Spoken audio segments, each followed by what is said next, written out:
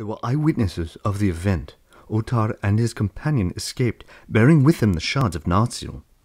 The tale mentions a young man who survived the slaughter. He was Elendil's esquire, named Estelmo, and was one of the last to fall, but was stunned by a club and was not slain, and was found alive under Elendil's body. He heard the words of Isildur and Elendil at their parting. There were rescuers who came on the scene too late, but in time to disturb the orcs and prevent their mutilation of the bodies. For there were certain woodmen who got news to Thranduil by runners, and also themselves gathered a force to ambush the orcs, of which they got wind and scattered. For though victorious, their losses had been great, and almost all of the great orcs had fallen. They attempted no such attack again for long years after. The story of the last hours of Isildur and his death was due to surmise, but well founded. The legend in its full form was not composed until the reign of Elessar in the Fourth Age, when other evidence was discovered. Up to then it had been known, firstly, that Isildur had the ring and had fled towards the river. Secondly, that his mail, helm, shield, and great sword but nothing else had been found on the bank not far above the Gladden fields. Thirdly, that the orcs had left watchers on the west bank armed with bows to intercept any who might escape the battle and flee to the river, for traces of their camps were found, one close to the borders of the Gladden fields. And fourthly, that Isildur and the ring, separately or together, must have been lost in the river. For if Isildur had reached the west shore wearing the ring, he should have eluded the watch, and so hardy a man of great endurance could not have failed to come then to Lorien or Moria before he found it. Though it was a long journey, each of the Dunedain carried in a sealed wallet on his belt a small phial of cordial and wafers of a way bread that would sustain life in him for many days. Not indeed the miruvor or the Lembas of the Eldar, but like them, for the medicine and the arts of Numenor were potent and not yet forgotten. No belt or wallet was among the gear discarded by Isildur.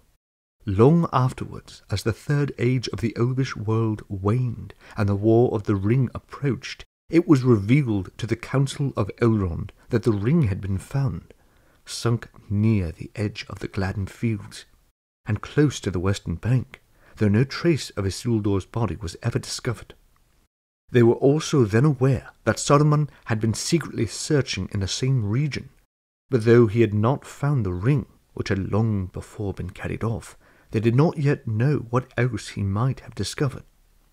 But King Elessar, when he was crowned in Gondor, began the reordering of his realm, and one of his first tasks was the restoration of Orthanc, where he proposed to set up again the Palantir recovered from Saruman. Then all the secrets of the tower were searched. Many things of worth were found, jewels and heirlooms of Eorl, filched from Edoras by the agency of Wormtongue during King Theoden's decline, and other such things more ancient and beautiful, from mounds and tombs far and wide. Saruman in his degradation had become not a dragon, but a jackdaw, at last behind a hidden door that they could not have found or opened had not Elessar had the aid of Gimli the dwarf, a steel closet was revealed. Maybe it had been intended to receive the ring, but it was almost bare. In a casket on a high shelf, two things were laid. One was a small case of gold, attached to a fine chain. It was empty and bore no letter or token, but beyond all doubt it had once borne the ring about Isildur's neck. Next to it lay a treasure without price, long mourned as lost for ever.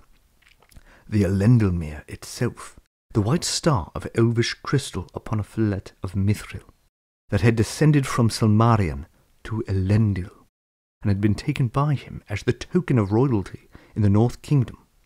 Every king and the chieftains that followed him then in Arnor had borne the Elendilmir down even to Elessar himself. But though it was a jewel of great beauty, made by the elven smiths in Imladris for Valandil, Isildur's son, it had not the ancientry nor potency of the one that had been lost when Isildur fled into the dark and came back no more. Elessar took it up with reverence, and when he returned to the north and took up again the full kingship of Arnor, Arwen bound it upon his brow, and men were silent in amaze to see its splendour. But Elessar did not again imperil it, and wore it only on high days in the north kingdom. Otherwise, when in kingly raiment he bore the Elendilmir which had descended to him. And this also is a thing of reverence, he said, and above my worth, forty heads have worn it before.